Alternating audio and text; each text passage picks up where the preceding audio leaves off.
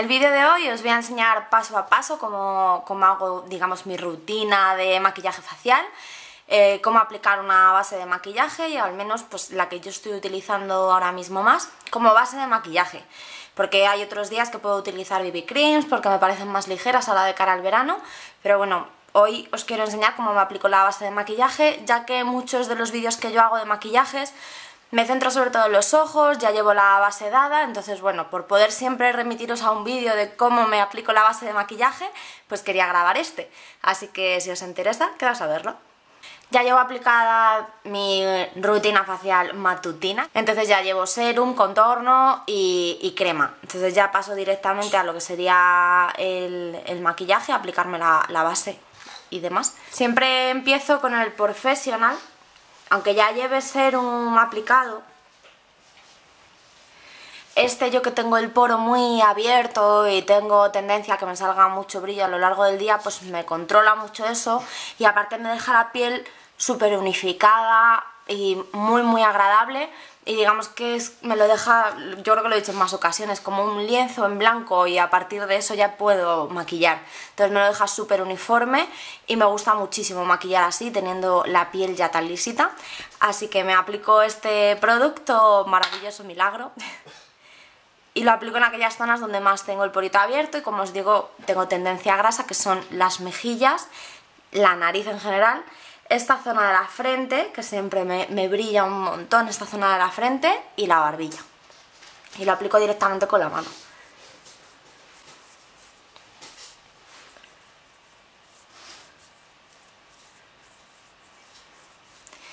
Ese es un producto que tiene así como color carne más o menos. Pero queda transparente totalmente. Es que no sé si vais a poder verlo bien bien, pero bueno. Se nota el cambio nada más aplicarlo, pero ya se queda mate la zona. Y como os digo, queda muy muy muy suavito. Queda toda la piel unificada.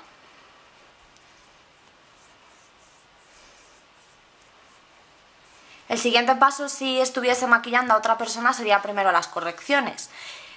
Mm, ¿Por qué a otras personas distinto que a mí? Mm, porque yo ya me conozco mi piel, sé cómo reacciona, eh, sé el corrector que uso y el que a mí me va bien y sé que encima de la base se me funde muchísimo mejor que debajo. Sin embargo, a otras personas, pues eh, sobre todo como suele ser para fotografía o bueno, pasarela quizá no tanto porque quizá en pasarela luego no se ve tanto el detalle del maquillaje. En fotografía también antes se veía más el detalle del maquillaje, pero ahora mismo se editan un montón las fotos, o sea que también es un poco controvertido el tema. Pero en otras personas prefiero arreglar primero esas, esas marcas y después aplicar la base. También en otras personas siempre aplico más base que en mí, porque a mí me gusta que me quede súper ligera, pero depende del trabajo que vaya a desempeñar, siempre se va a notar más la base. Así que como os digo, en otros casos, o incluso vosotros, a lo mejor os funciona mejor primero las correcciones y luego la base, pues yo lo hago al revés y me aplico primero la base y luego las correcciones. La base que estoy utilizando ahora mismo se ha convertido en mi favorita, desgraciadamente porque cuesta muchísimo dinero, es la Share Glow de, NARS y yo utilizo el tono Santa Fe. Al principio pensé que esta base me iba a quedar muy brillante, por eso es Share Glow, que parece que vas a brillar, pero no. Os voy a decir otra base eh, low cost que me encanta y que me hace exactamente la misma función, lo que pasa que bueno, pues una veces es un poco no sé cómo decirlo, pija en este sentido y te gustan un poco las marcas y bueno, pues yo qué sé, porque te dedicas a ello, te lo puedes permitir quizás, eh, me gusta mucho NARS, pero me encanta esta base, os lo he dicho en varias ocasiones, la Photofinish de Catrice, esta base cuesta 8 euros me parece, de hecho vamos que no es mentira, como la llevo, es que me encanta. Y, funciona muy bien, tiene muy buena cobertura y queda muy mate, más mate que la, que la Ser Glow. Entonces, bueno, pues por daros una opción también que, que luego no digáis, jolín, es que solo sacas NARS y es súper caro. Yo NARS lo he descubierto hace dos días, o sea que siempre funciona un poco con, todo, ¿no? low cost, medio o, alta cosmética, me gusta probarlo un poco todo, así que esta sería una opción low cost. Me estoy aplicando últimamente la base con esta brocha de Shiseido, Pero igualmente os voy a decir mis brochas favoritas para aplicar la base. Favorita desde hace muchísimo tiempo, desde que la descubrí. La F80 de Sigma. Que tenéis el código en la caja de información si queréis, que soy afiliada. Y es la de corte plano. Y me gusta muchísimo porque me pule muy muy bien el maquillaje ya que es una brocha súper tupida. Otra que me gusta, pero un montón también, es que bueno, luego ya cada día yo qué sé, no sé en qué se basa mi criterio a la hora de elegir una brocha por las mañanas, no lo sé. De Real Techniques, la Buffing Brush.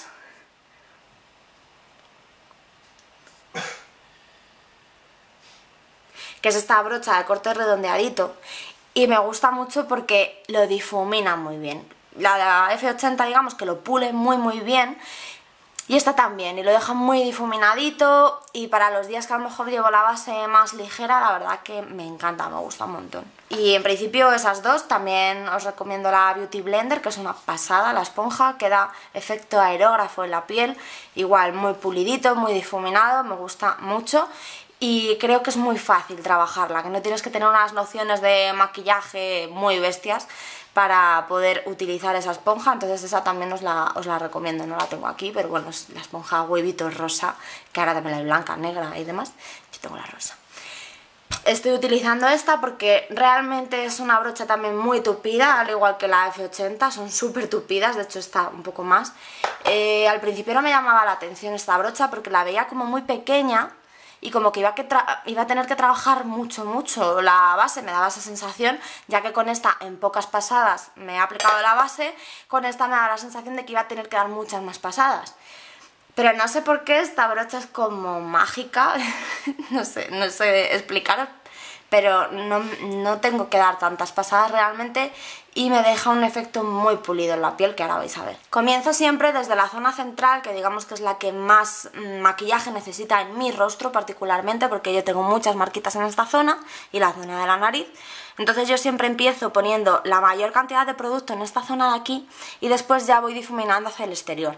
La frente prácticamente no me la maquillo porque, bueno, pues gracias a Dios no tengo granos, no tengo nada en la frente, entonces directamente difumino un poco con lo que me queda la brocha y la zona del mentón pues un poco igual, aunque sí que en estas zonas de aquí también aplico un poco más de base porque también tengo marquitas, entonces esta zona, casi toda mi cara, toda esta zona de aquí es donde yo tengo más marquitas. También recomiendo siempre, aunque no tengas más marquitas, siempre empezar del centro hacia el exterior. Porque estás haciendo un barrido, estás haciendo una especie de, drenaje linfático y la base se va a sentar mejor en, la piel. Simplemente no me voy a meter así en, en más rollos, así es como lo hago yo y como os recomiendo que lo hagáis. Entonces empiezo siempre, ¿veis? Del centro, aplico en esta zona más base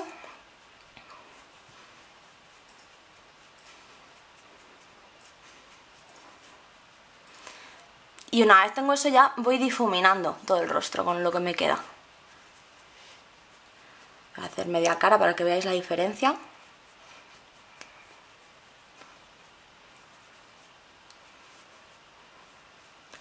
Los párpados yo los maquillo. Hay gente que dice que no. Yo los maquillo, siempre. Me gusta unificar toda la piel. ¿Veis? Aquí ya en esta zona ya prácticamente no me queda nada en la brocha.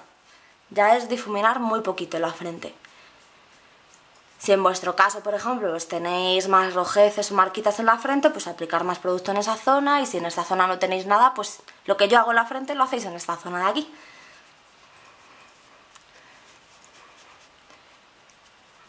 A mí la base me gusta muy, muy, muy ligera, entonces no aplico una cantidad excesiva. Cuando me han maquillado otras veces siempre me aplican mucha, mucha cantidad y es que yo no me veo, a mí no me gusta. Me gusta ver mis lunares, que tengo muchos lunares y, ver que mi piel está ahí debajo. Que se unifique, pero que no sea una capa muy, muy densa de maquillaje. A mí eso no me gusta. Aplico, como os digo, un poquito más de, de cantidad de base en esta zona, ya que tengo mucha rojez.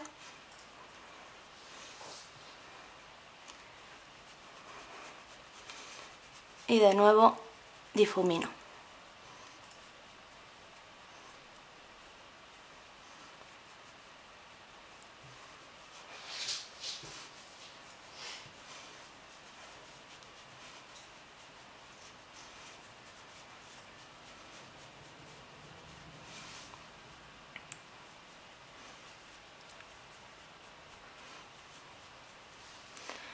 Entonces, ¿veis?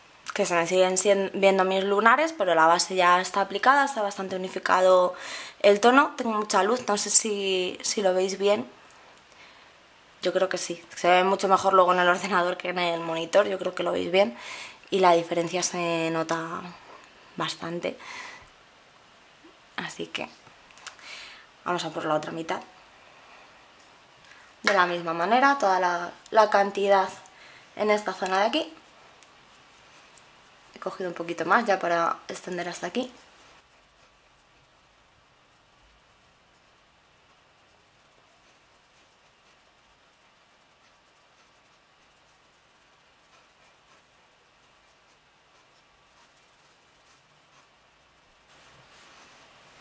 Siempre maquillo también un poco lo que es el lóbulo de, la oreja para unificar el tono, aunque es cierto que esta base, que es el tono Santa Fe, si lo he dicho antes, eh, me va genial. Y siempre os recomiendo que elijáis una base un poquito más clara que vuestra piel, un poquito.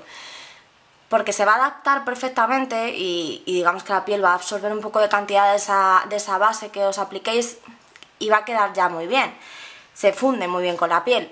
Y de esa manera también después siempre podéis potenciar un bronzing sin que quede mal y con los rubores y demás y sin embargo, si ya desde el principio os dais una base más oscura que vuestra piel, aclararla es muy difícil y se va a notar, porque os vais a dar a lo mejor un polvo matificante más claro y se va a notar, se va a notar en el poro y se, va a notar en, los cortes, es inevitable. Entonces yo siempre recomiendo un tonito más claro que vuestra piel. Una vez me he aplicado la base, yo siempre me doy luego un bálsamo labial. Este es el de la pibita de propóleo porque bueno, de esa manera se me van hidratando los labios de cara a luego maquillarlos, pero bueno, es mi manía.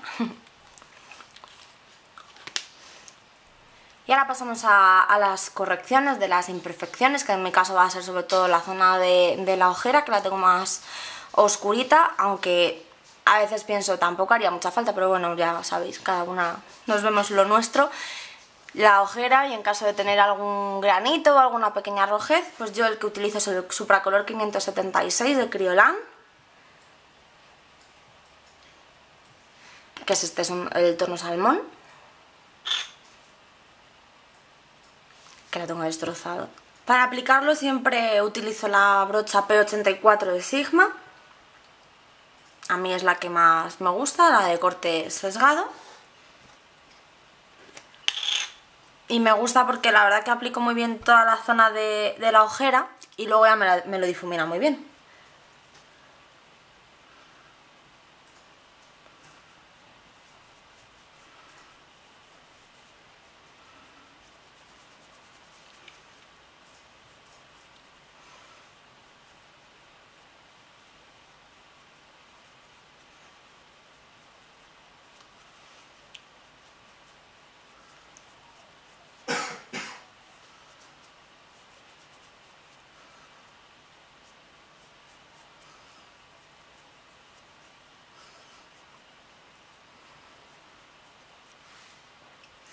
Y aquí tengo una pequeña marquita y lo que hago es que con la, con la punta del pincel mojo un pelín y aplico en esa zona y ya difumino.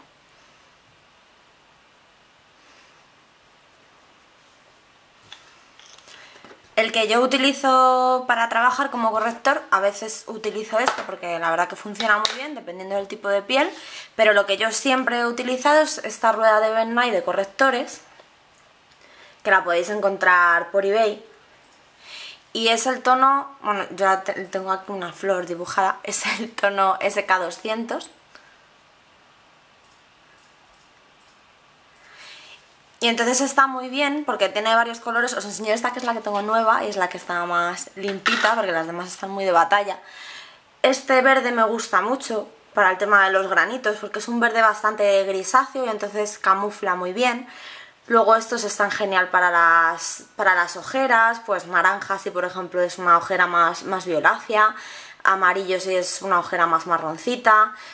Estos dos en general, pues este se parece un poquito al, salmón, más o menos, este es un poquito más oscuro. Y entonces esta a mí me funciona muy bien a la hora de, de maquillar en otras personas, pues Es una rueda muy completa y os la recomiendo. El precio, no sé, la verdad me pilla un poco, pero no creo que llegue a 30 euros. Entonces, por 6 correctores, pues creo que está bastante bien. Bueno, lo siguiente que yo hago es matizarme la ojera y esto lo hago en plan, según me la he maquillado, porque soy súper propensa a pliegues, entonces yo ya tengo pliegue y me lo acabo de aplicar. Eh, me habéis preguntado en alguna ocasión que por qué utilizo tantos polvos distintos para matizarme diferentes zonas del rostro.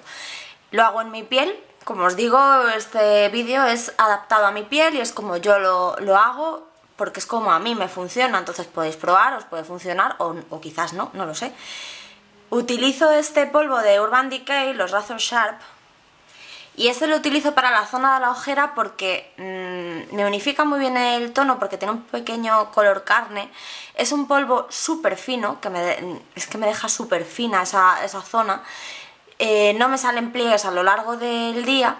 Y realmente yo este polvo lo utilizaría en todo el rostro y el único motivo por el que no lo hago es por su precio es porque es carísimo, solamente tiene 8 gramos y, ya gasté uno que lo gasté en todo el rostro y dije, bueno, no, no hace falta, puedo utilizar otros polvos, aunque es que me han ido genial en todo el rostro, pero son muy caros, no sé si eran 28 euros o 26 euros, no me acuerdo ahora mismo, pero es muy caro para ser tan pocos gramos, entonces... Es por eso, por lo que solamente lo utilizo en la ojera, que es la zona que yo necesito que no me salga pliega a lo largo del día, y lo hago de esta manera. Este polvo lo utilizo en la ojera por eso. Eh, y lo utilizo siempre con la brocha E40 de Sigma, que está de, como de difuminar de pelito suelto, que me va muy bien para la zona de la ojera. Entonces matizo directamente mm, ya como difuminando.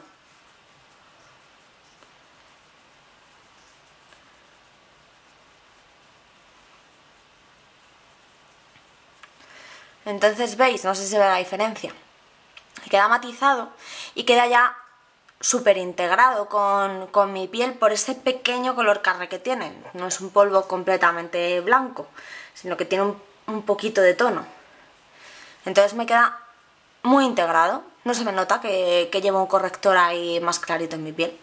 Yo en la zona, en general, donde me haya aplicado el supracolor, que es un color muy o sea, es un producto muy graso, no aplico este producto porque no, no es en todo el rostro. Y ahora es cuando viene mi combinación, que también tiene su explicación, que ahora os digo, con otros polvos para matizarme el rostro. Utilizo los polvos HD de Make Forever, y esto os lo he dicho en alguna ocasión también, siempre que no vaya a haber fotografía con flash de por medio, porque es un polvo blanco y refleja muchísimo la luz, entonces en cuanto nos da el flash hacemos un pantallazo blanco enorme y, y queda fatal. Entonces, bueno, pues para el día a día a mí este polvo me encanta porque digamos que me termina de unificar toda la piel. Si ya con el primer paso he hecho, digamos, como un folio, ¿no? Que me ha quedado súper lisa la piel. Con la base he cubierto todo el tipo de imperfecciones y se me ha quedado toda la piel unificada de tono. Este polvo me acaba de, dejar ya ese efecto papel, digamos. A mí aparte es que me gusta mucho estar completamente mate, entonces ya me deja muy muy sellado. Digamos que se introduce un poco en, el poro y se queda ya muy muy lisita la piel y completamente mate. Entonces yo lo utilizo en las mismas zonas que me ha aplicado el, profesional de Benefit. Y utilizo la brocha... Uy, están borradísimas las pobres. la 109. No, mentira. Es que se me borran todos los mangos de MAC. La 129. Que la tengo en formato chiquitito también como grande y pequeña, me gusta mucho. Y voy a toquecitos para que se me introduzca bien en, en el poro, digamos. Voy bien, bien a toquecitos. Y ya difumino. Ya os digo, la zona T, mejillas y, y barbilla. Solamente en esa zona me pongo este polvo. No tiene así mucha explicación, bueno, a mí me gusta justo en esa zona, en el resto no brillo, es en esa zona, entonces me gusta así.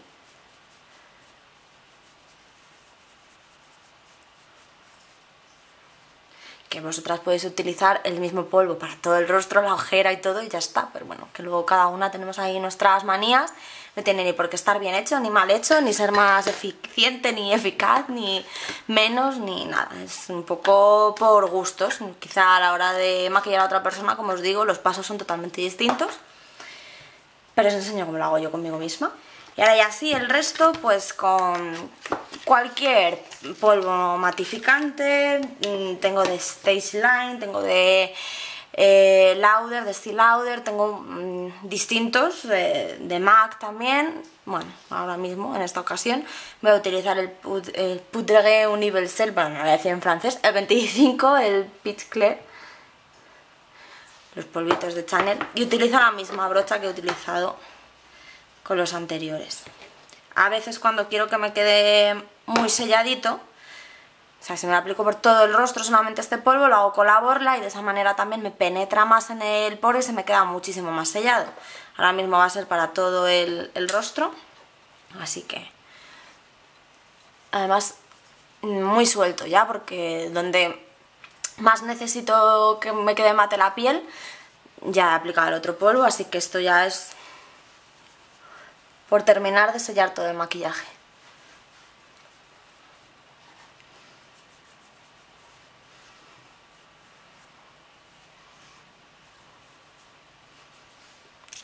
Y ahora ya para dar un poquito de forma al rostro, me voy a centrar en mis tres productos favoritos, que son los que más utilizo en mi día a día. Tengo muchísimos otros coloretes, muchísimas otras cosas, pero bueno, a día de hoy lo que más utilizo a diario son estos tres.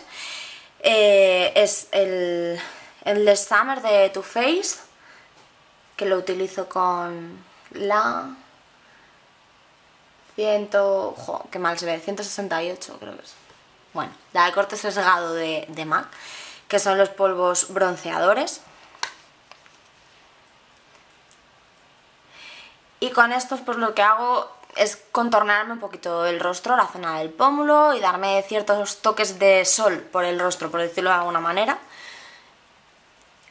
Aplico ya directamente difuminando, generalmente es con esta brocha tiras y luego difuminas, pero yo que me conozco mi rostro y mis pómulos, o ausencia de ellos a veces, pues ya directamente lo aplico difuminando. Subo un poquito hacia la, la sien y bajo un poquito hacia el mentón. Pero digamos que justo donde va el hueso, un pelín por debajo, ahí es donde, donde lo aplico. De la otra manera, para localizarlo, pues siempre buscar dónde está el hueso, que suele ser a la altura del lóbulo de la oreja, y en esa zona apoyaríais la brocha y tiraríais hacia la comisura del labio, sin llegar. Os quedaríais más o menos a medias, que es donde termina el ojo, más o menos así. Esta zona es donde más cantidad de producto va. Y ya es difuminar bien. Que no queden cortes en el maquillaje. Por Dios, que queda muy mal. Y como os digo, tirar un poquito hacia arriba, un poquito hacia abajo pero sobre todo en esta zona de aquí es donde va la, mayor cantidad de producto. Podéis marcar también eh, el borde de la cara, digamos, para afinarla un poquito más.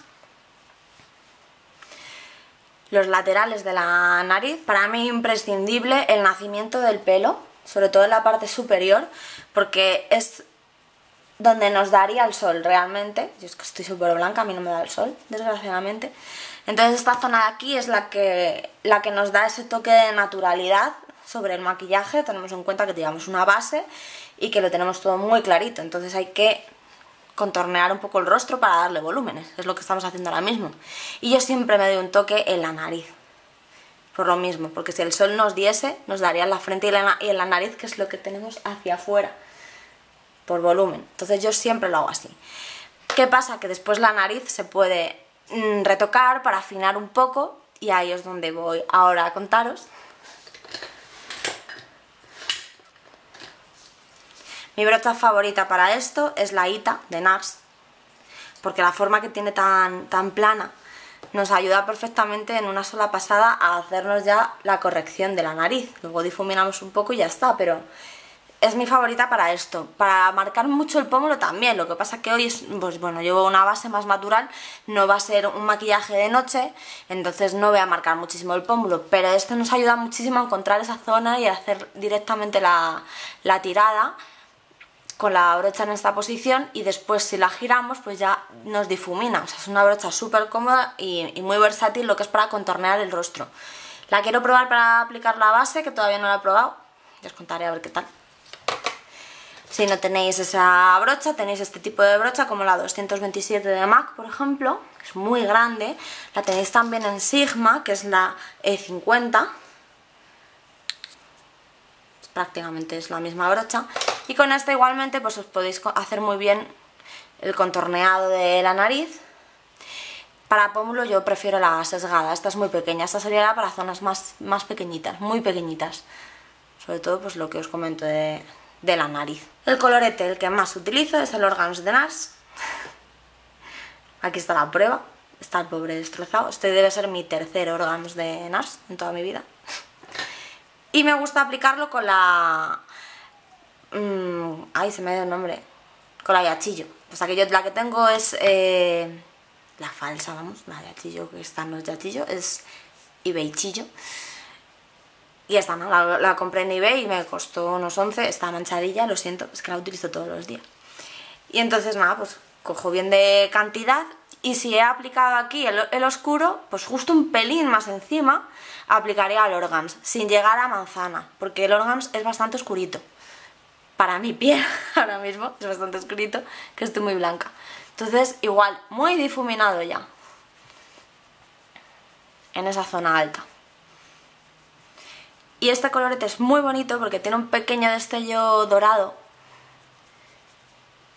Y da una sensación así como de salud, pues es muy bonito. Es mi favorito, me encanta.